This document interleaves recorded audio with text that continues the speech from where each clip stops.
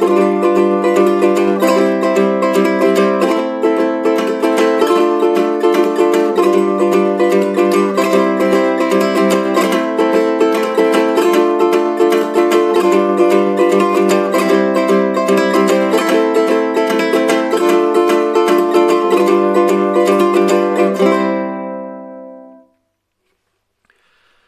Téhle krátké ukázce střídající akordy C, A mol, D mol a G7 jsem ukázal dva druhy skupinek tří not, který my můžeme zahustit eh, pravidelný osminový rytmus, který hrajeme dolů nahoru.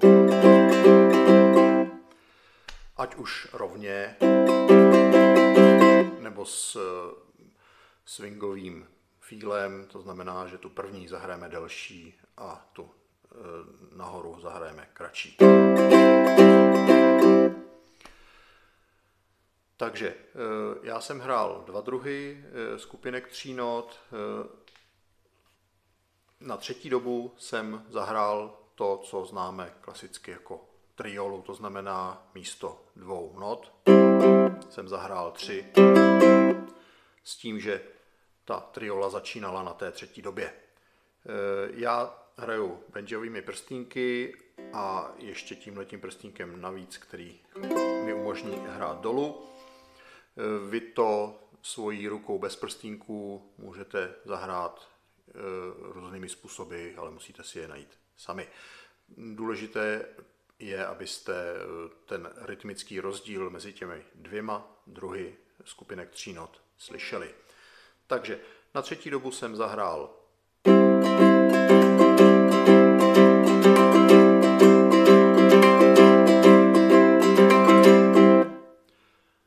Zatímco před první dobou, neříkám na první dobu, ale před první dobou jsem zahrál druhý způsob, kdy ta skupinka tří not na té době končí.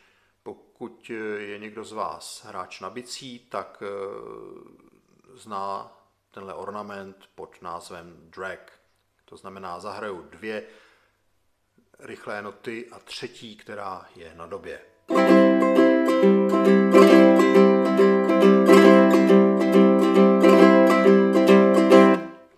Zase já mám benjové prstínky, to znamená, já hraju první notu ukazováčkem nahoru, druhou notu prostředníčkem nahoru a třetí notu na době hraju palcem dolů, protože já vždycky hraju na době palcem dolů.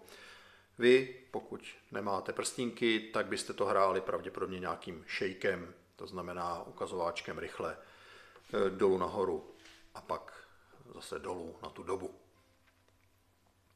Takže ještě jednou ten druhý způsob vypadá takhle.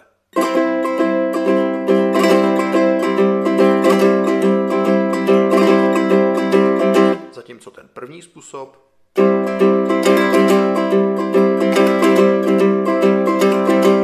a skombinováno dohromady.